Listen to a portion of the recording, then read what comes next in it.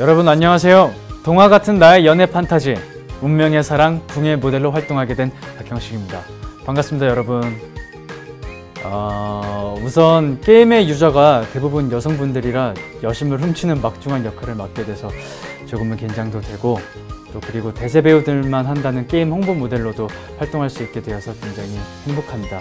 어, 운명의 사랑 궁은 고대 궁을 배경으로 마치 한 편의 드라마 같은 다양한 시나리오를 통해 캐릭터를 육성하는 여성향 RPG 게임으로 여성 유저 게임 습관에 최적화하기 위해 게임 조작을 간소화하고 시나리오, 육성, 소통 등에 중점을 둔 정말 여심을 충족시키기에 부족함이 없는 게임입니다.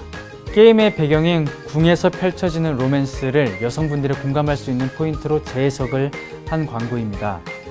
어, 이번 광고에선 사랑에 빠진 왕의 모습과 현실의 썸남을 모두 연기할 예정이라 보시는 재미도 쏠쏠하실 거라 생각합니다. 많이 기대해 주세요. 나의 선택으로 게임 속 운명이 바뀌는 게임. 운명의 사랑 궁 많이 기대해 주시고 현재 사전 예약 진행 중이니까 사전 예약하시는 거 잊지 마시고요.